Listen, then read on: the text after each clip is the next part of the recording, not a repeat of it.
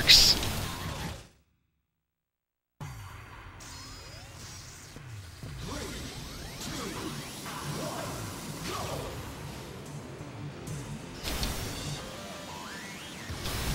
So for these new Street Fighter 4, like the the fourth one that's coming up, are, is that just like a deal? Like, are you is that like a full price game, independent, or what?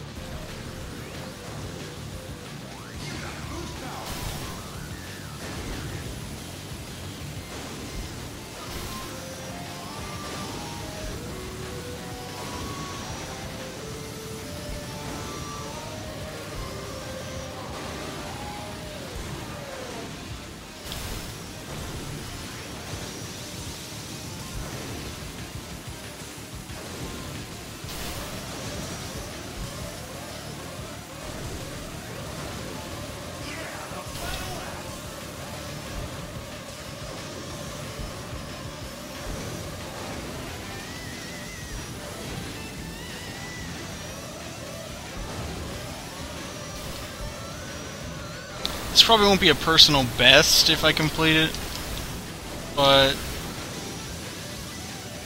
it's an okay run.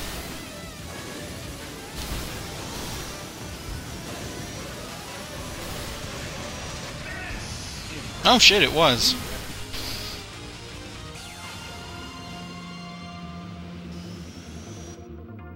$15 DLC?